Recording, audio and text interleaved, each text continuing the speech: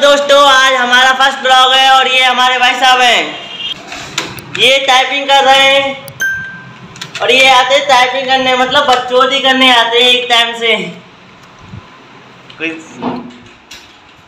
और हम आज करेंगे आपको बताएँगे कंप्यूटर में टाइपिंग कैसे करी जाती है और हम यहाँ पर क्या करते हैं। भैया बताना क्या करते हैं हम यहाँ पर? भाई यहाँ टाइपिंग करते हैं हम। अच्छा। सिखाते हैं। बच्चों को टाइपिंग सिखाते हो और कुछ भी? नहीं भैया टाइपिंग सिखाते हैं खाली अच्छा हेलो दोस्तों मेरा फ़र्स्ट ब्लॉग है।